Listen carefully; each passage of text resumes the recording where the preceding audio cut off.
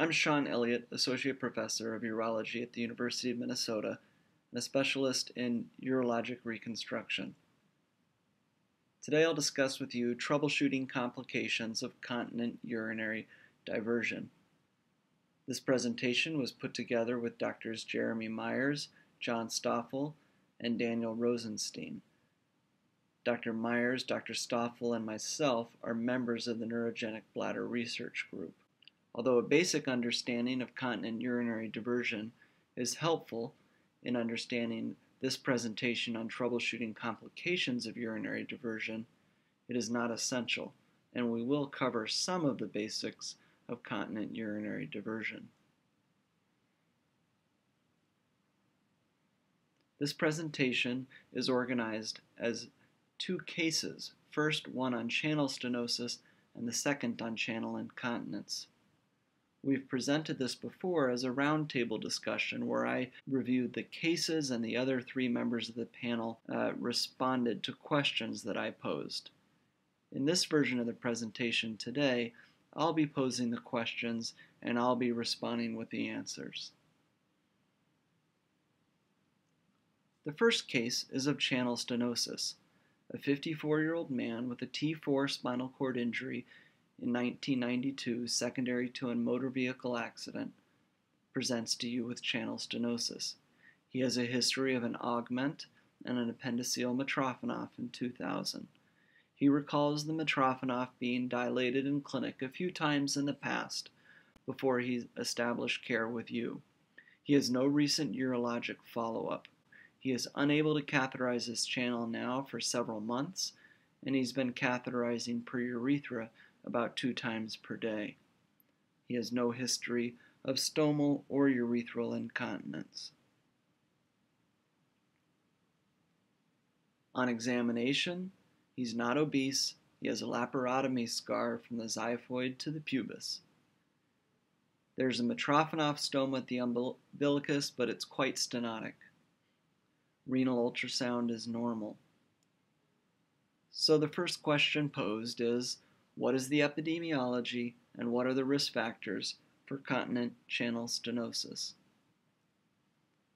Stenosis occurs in about 10 to 30 percent of continent channels. The frequency of stenosis varies by one's definition of stenosis and the length of follow up. Let me explain. Stenosis is sometimes defined as any difficulty catheterizing the channel, other times by any need for channel dilation, and other times by any need for channel revision surgery. So, as you might guess, the frequency of channel stenosis varies in the literature. The frequency of channel stenosis also depends on the length of follow up, and unfortunately, the length of follow up is limited in most series. Risk factors of channel stenosis can be understood in two categories. First, early risk factors, and second, late risk factors. Early risk factors are believed to include poor vascular supply to the channel, wound infection, skin irritation, and inadequate spatulation. Late risk factors include repetitive trauma from catheterizing the stoma several times every day, and obesity. Stomal location does not appear to be predictive of the risk of channel stenosis. Whether the channel has been located on the lower abdominal wall or at the umbilicus, revision rates appear to be similar.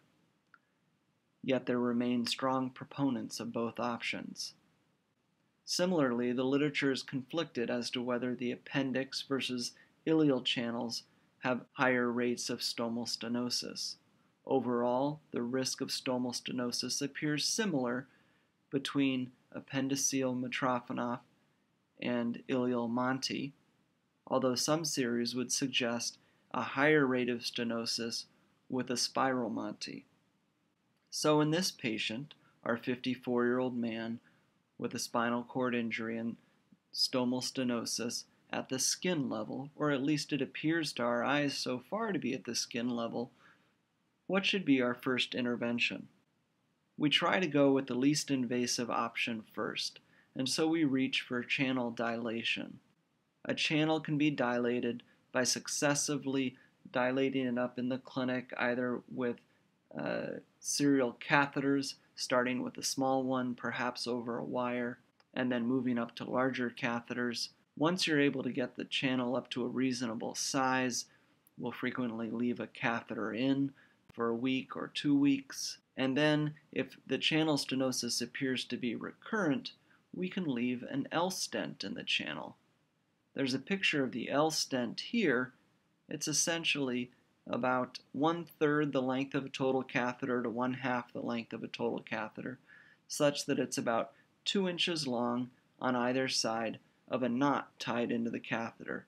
This knot creates a right angle in the catheter and allows for the distal portion to be inserted into the channel, and that distal portion is too short to reach down into the bladder, so that there's no contact with the bladder and thus no urinary leakage and a lower risk of urinary tract infection. The proximal end that is the part that is outside of the body, and this can be taped onto the patient's abdomen to keep the catheter from falling out. Several patients will wear this L stent in overnight to help manage channel stenosis and go without the L stent during the day. And then in the worst case scenario, some patients will wear the L stent all day long, removing it only to catheterize. In a series with just a few patients, the L stent has been shown to be rather successful. For our patient, we started with channel dilation, first inserting a guide wire and then dilating him up easily with a 12 French and then 14 French catheter. We removed the catheter one week later, and re he resumed intermittent catheterization. Unfortunately, he returns two weeks later with inability to catheterize the channel. So, what should be our next step once dilation has failed? Well, when dilation fails, we think about surgical management of stomal stenosis. One option is an advancement flap.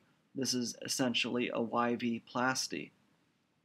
So a full thickness V flap is raised of the skin adjacent to the stoma, and then the stoma is resected back to healthy tissue and spatulated, and then this V flap is advanced down into the stoma as a YV plasty. This is commonly the first procedure surgeons reach to when they revise a channel for stomal stenosis, but there is really no long-term data on efficacy. A once described but rarely practiced alternative is buccal mucosa grafting for channel stenosis. Similarly, a procedure that's been described but to our knowledge is rarely used for the most difficult cases is a tube of skin created using two V flaps that are then rolled together, tubularized, and advanced down towards the end of the uh, that's been spatulated. A YV plasty was indeed performed for our patient, and it worked well for him for some time, but then one year later he returns unable to catheterize his channel. So we ask, what next when dilation has failed and a YV plasty has failed? Are we looking at another surgery? Indeed, when these other measures have failed, we're going to have to do a laparotomy and revise his channel or remove and replace his channel. When we do that, we'll need good familiarity with the different options for channel construction when the appendix is absent. In this particular patient, his appendix was used for his previous channel creation, and so when we revise that channel through a laparotomy, we may need to add some additional length to that channel or completely replace it with one of the channels pictured here. First, we can perform a Monti. This is where a segment of ileum, generally about 2 centimeters, is opened along its antimesenteric border and then closed transversely to create about a 7 centimeter tube. In adults, this is frequently not long enough, and so commonly performed procedures include the double Monti, where two tubes of 2 centimeter ileum are reconfigured into a 14 centimeter channel, or the spiral Monti, configured out of a 3.5 centimeter segment of ileum that is opened in a Z fashion and then closed, yielding a 12 to 14 centimeter channel. Or another option is tapered ileum, where the desired length of ileum is harvested completely and then that length of ileum is tapered over a catheter. Tapering can be done along the antimesenteric border using either a stapler or excision of that bowel and then closing it with sutures. Advantages and disadvantages to each of these procedures must be understood. The spiral Monti yields the most tenuous blood supply. The double Monti is hampered by difficulty with catheterization at the anastomosis between the two Monti ends, and the tapered ileum can be hampered by its very large mesentery, which can get in the way of either tunneling this channel into the bladder or bringing it up to the skin. In longer channels, the mesentery can result in bowing or arcing of the channel, making it difficult to catheterize. A couple of procedures that have been described but are rarely used are ones that avoid harvesting any bowel when trying to create a catheterizable channel. These both involve making a stoma just out of skin and bladder. Uh, one involves creating an extravesical bladder tube, similar to a Boari flap, and then anastomosing that up to the skin. An intravesical flap valve is created for continence, and the other involves a skin tube that's advanced down towards the bladder and the use of a rectus muscle wrap for continence. Both of these have not had excellent results in the literature and are not used very often. In our particular patient, a laparotomy was performed and a four hour lysis of adhesions ensued. We discovered an enterostomal fistula to the small bowel. This was excised, both the fistula and the involved section of the channel and the involved section of the small bowel. This resulted in us excising the channel at the distal end, but being able to preserve the bladder end of the Mitrofanoff. We had about a 10 centimeter gap between the bladder end of the Mitrofanoff and the umbilicus, and we elected to bridge this gap with a 10 centimeter segment of tapered ileum from one end of the previously resected ileum from earlier in the case. We tapered this ileum using a stapler over a catheter.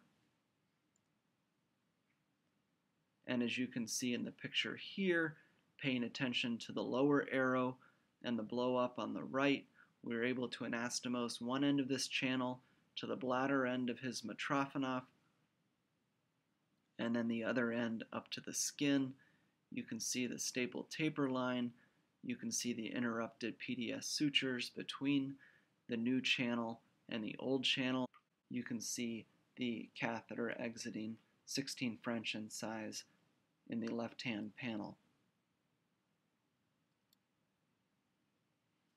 In follow-up one year later, he's catheterizing without trouble, and he's continent of urine. So to review our management of channel stenosis, we first want to know is that stenosis at the skin or deeper inside, and we perform a dilation, usually just in the office. We can do this by gaining access with a wire and then passing a series of catheters over that wire, starting with a rather small catheter like 8 or 10 French, and moving up to the size that the patient generally catheterizes with. We find it best to use stiff catheters. We leave that catheter in for about two weeks and then have them resume catheterization.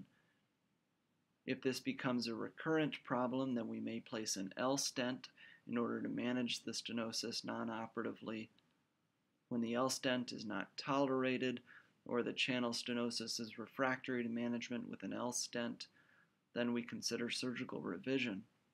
If the stenosis is limited to just the stoma, that is, it's superficial, then we can perform a YV plasty above the fascia or occasionally have to make a mini laparotomy to mobilize the terminal end of the stoma up towards the skin in order to achieve a tension-free YV plasty. When the stenosis is longer or deeper inside the channel, then we need to perform a full laparotomy and we'll have to excise the involved portion and replace some or all of the channel with a new bowel segment. I should say that in rare circumstances we've been able to just excise a portion of the channel and perform an end-to-end anastomosis of the existing channel, preserving the blood supply in both ends, but generally the blood supply to one end will be affected and a portion of it will have to be removed and replaced with a new channel with a new blood supply. When you think about the benefits of preserving part of the channel, it's particularly helpful if the continent end of the channel can be preserved, that is, the end towards the bladder. Then we do not have to make a new continence mechanism, and we can simply add a new terminal end to the channel and mature that up to the umbilicus. But if the continence mechanism is affected by the stenosis, then we'll likely have to remove all of the channel and create a new channel with a new continence mechanism. The second case is an example of channel incontinence. A 37-year-old man with cerebral palsy and urinary retention performs clean intermittent catheterization per urethra, but that's becoming increasingly difficult. A cystometrogram demonstrates a low pressure, high capacity bladder with no detrusor overactivity.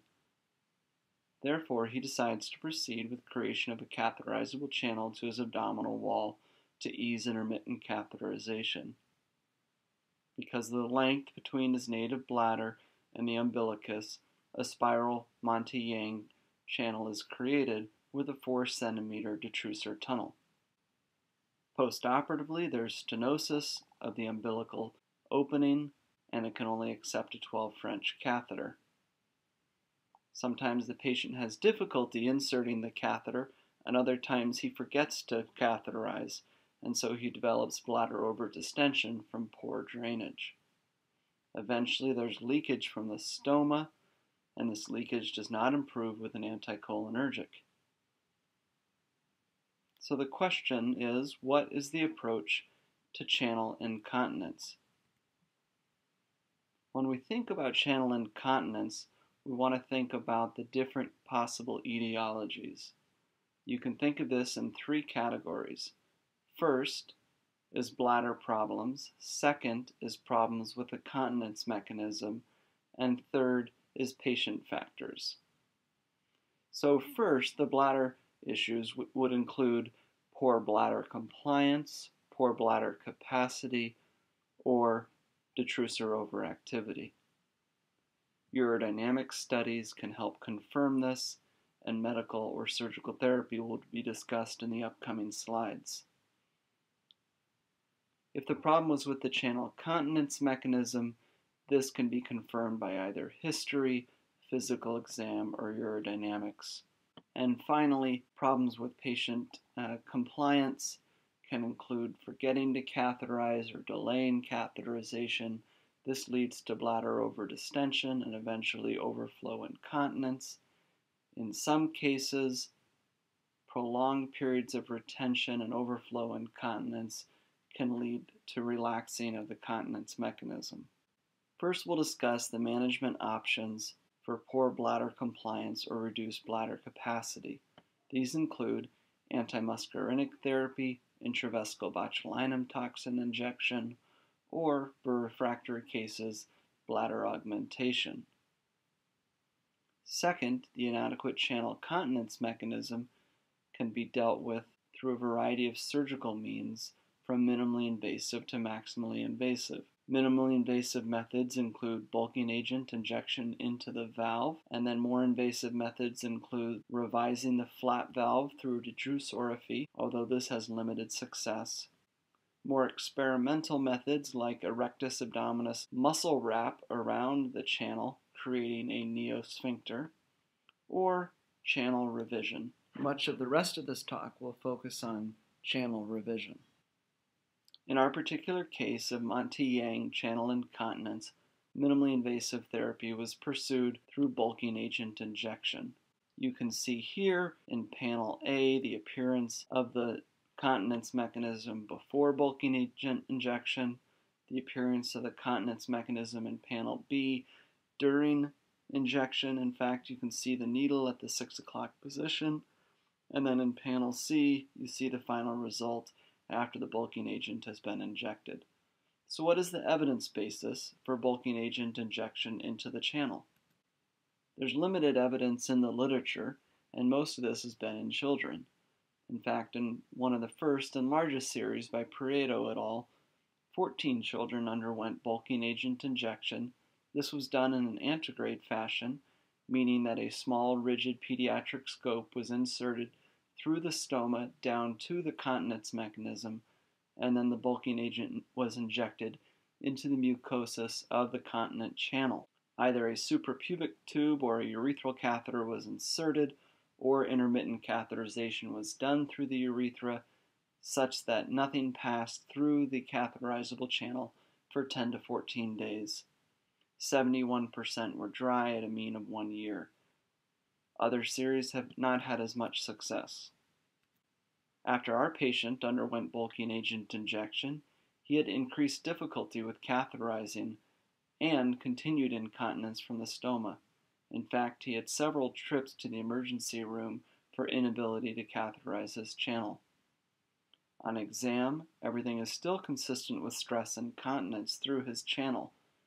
We did not repeat urodynamics, but these previously showed a low pressure bladder. What would be the next steps?